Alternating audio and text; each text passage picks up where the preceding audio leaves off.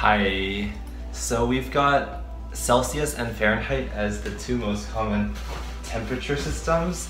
And in this video, I'm gonna try arguing why a third one, Kelvin, is actually the best for not just scientific use, but also practical everyday use for ordinary citizens. Now this doesn't mean I believe it, it's just like a fun exercise to like debate, I uh, not debate, but you know, argue for points that I guess are a little um, unconventional. As a refresher, Kelvin is the same as Celsius, but plus 273.15 degrees. This makes it so absolute zero, which is the coldest temperature ever, corresponds to zero Kelvin. That's where there's no thermal energy. So it's important to first explain why most of the caveats people criticize Kelvin for are not that bad, and then I'll describe some possible benefits to Kelvin that most people don't realize. So I'll just get started.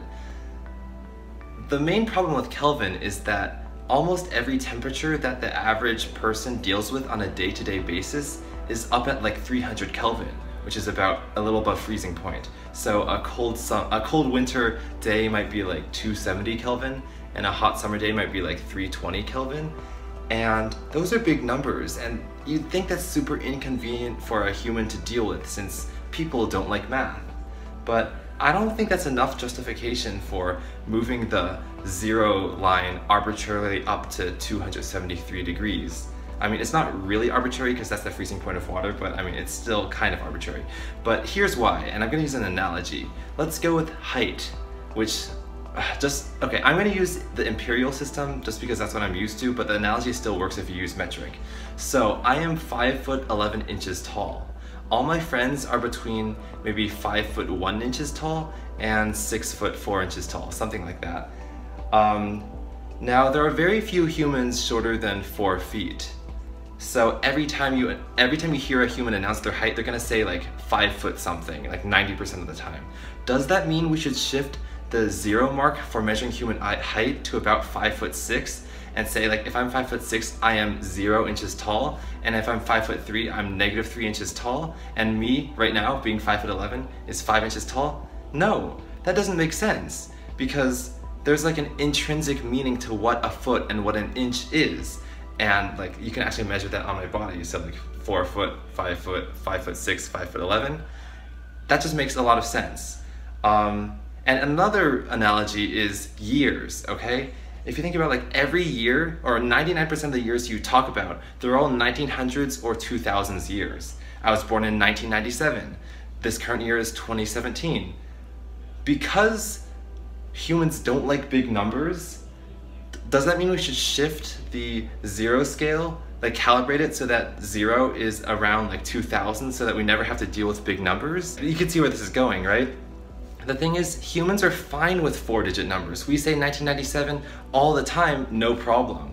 So I don't really think the argument like, oh, I'm scared of big numbers, let's, let's change everything so it's smaller is a good argument because we deal with it all the time just fine. Think about all those Facebook posts that are like an image trying to explain why Fahrenheit's the best and they show the four temperature scales ranging from 0 to 100 and Fahrenheit it says 0, really cold, 100, really hot, Celsius, zero, kinda cold, 100, deathly hot, um, and then Kelvin, really cold, really cold, uh, Rankine, really cold, really cold. Well, what I was just saying previously is trying to refute that because clearly we humans are capable of dealing with numbers outside of the range of 0 to 100.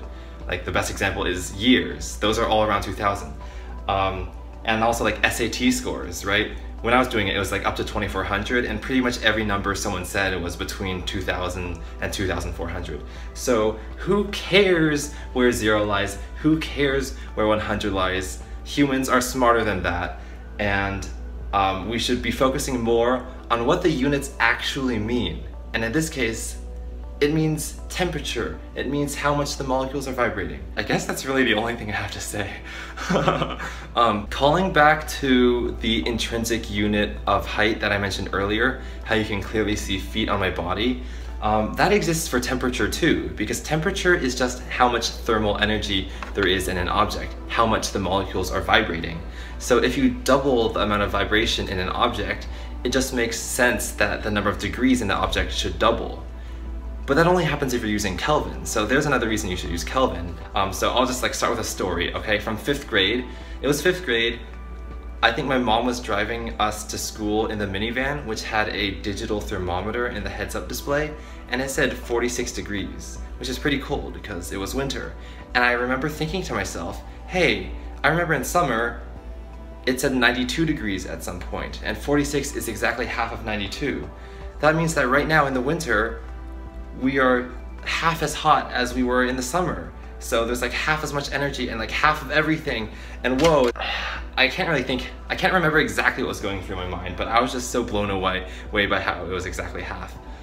But if we think about what's actually going on here, the winter time we were actually feeling maybe 85% of the thermal energy as we did in the summer. So it's only a 15% drop actually, not a 50% drop. So by using this arbitrary zero limit line, we're deceiving kids into thinking that the changes in temperature are much more extreme than they actually are. So a, a much more blatant example of this is if you live somewhere cold and it's two degrees Fahrenheit and then it drops one degree to one degree Fahrenheit. Some people will naively think, oh, it's half as hot. So that means all um, physical phenomena that are like proportional to temperature will go down 50%. But just thinking logically, it's a very small difference from two degrees Fahrenheit to one degree Fahrenheit. And that is, is like reflected by if you use Kelvin, it would say something like 274 to 273.5 degrees Kelvin. And that just makes a lot more sense. Um, so I, I feel like I prefaced this video by making it sound like I had a list of points to go through, but like that was really the only one. Um, I think I got through everything I wanted to say. And again, I don't actually believe that we should switch to Kelvin. I mean, it's just super inconvenient to change a society that has grown up with one temperature system to switch. And I think the effort of switching itself is not worth it because we all already have all the thermometers and all the technology designed for this. And also human brains, you know, they like habits. Kind of like how if you see the letter N, you'll just think of the n sound, even though that's completely arbitrary. A computer would not make that association and a human who had never seen this association wouldn't understand where that came about. But anyway, um, let's not actually switch to Kelvin. This is just like a thought experiment, and that's it for this video. Okay.